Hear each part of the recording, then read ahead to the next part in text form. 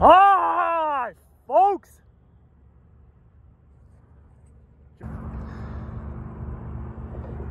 Just chilling on the side of the wash.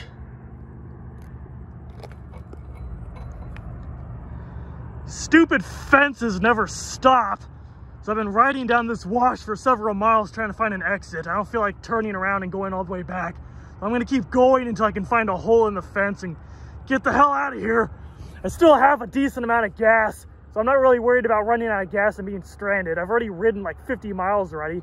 This thing gets like close to 100 miles on a full tank of gas. It's pretty crazy. I think this holds like a gallon and a half. I think.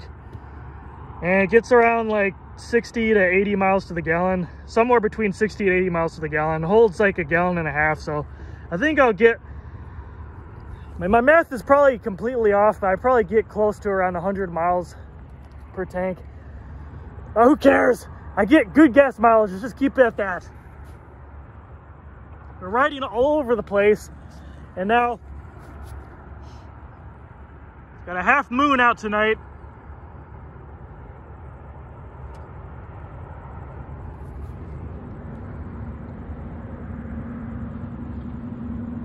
Just riding down the wash. Going into those dark, creepy underpasses.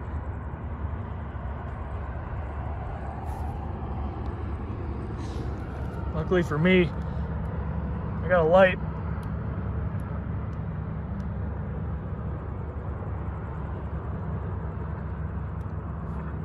This light is pretty bright.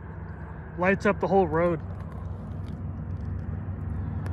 I think there's six LEDs on this thing. It's pretty bright and it lasts like three or four hours on one charge because it's got a pretty decently sized battery that I attached underneath the seat. So charge this thing up and the lights on this will last forever. And keep in mind there's also a tail light too. Tail light. It's also a brake light. So whenever I pull on the brake, I got a brake light too. So whenever I'm on the road trying to avoid cops, obviously I have a brake light so people don't ram my ass because I'm not really a big fan of surprise butt sex, damn it.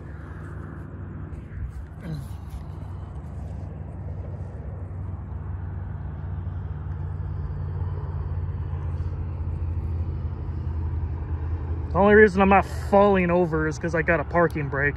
This brake is awesome. Not only is it 10 times more powerful than the stock brake that came with this garbage bike, but you can use it as a parking brake.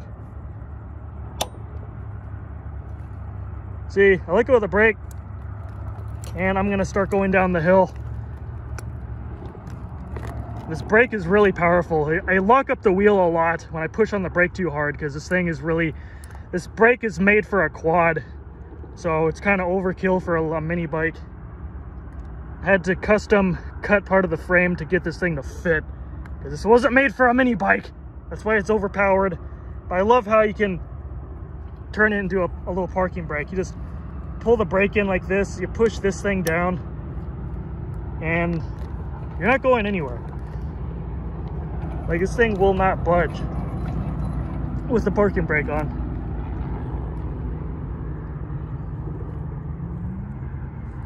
I've been riding around a lot after like 50 miles of nonstop riding.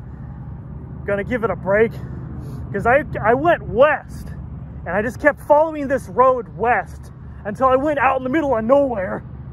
Next thing I know, I've, I've ridden like over 20 miles on this deserted road. And then when I finally came to some stoplight in the middle of nowhere and I saw this neighborhood, apparently there's a neighborhood out there that's in the middle of nowhere. I decided that it's time to turn back before I run out of gas. But after I checked to see how much gas I had left, I still had half a tank of gas left. After riding over 20 miles one way, not to mention all the other zigzags going through neighborhoods everywhere else I've gone through. And when I was ready to turn back, I still had a little over half a tank. And now when I got all the way back to here and then I was riding the wash, I still have like maybe one fourth of a tank right now. So I still got a good amount of gas. Assuming I can get out of this damn place. There's fence everywhere, so I can't get back on the road. So I'm continuing to look around, see if I can find a way to get out of here. This is fun. I, I didn't think that this mini bike was gonna be able to go up and down the sides of the wash like this. I thought this thing was gonna break or something, but I put so many high quality parts into this thing, including a front suspension. So these are much better quality parts. So I've just been like bouncing up and down the wash. It's going up, down, up, down, up, down, up, down. I wish this thing had a, a, rear suspension. I put a front suspension on here, but I can't put a rear suspension on this thing without completely cutting the frame up. And I just don't feel like doing that. It's too complicated. This one, I just popped the old forks off. Forks. Pork on a fork! Anyway, popped the old fork off, took the tire off and everything. I put the new forks on. Forks!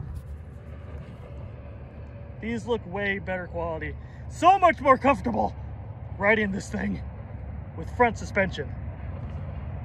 So much more comfortable. And I'm kind of surprised that the front fender actually fit. This is the stock fender. This is the only thing on this bike that's stock. I can't find a custom front fender. It's really the only thing left. But this is black, so it blends in and it looks good enough. So I don't really care if I find a custom fender.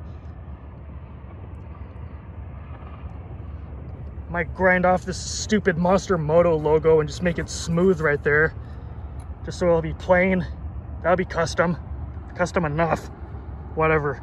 It's like, would be the point? I like the way this fender looks. The only reason I get a custom fender, if one even exists, is just so I can say that this isn't the stock fender, this is a custom fender. I can just make the damn thing custom myself if I wanted to.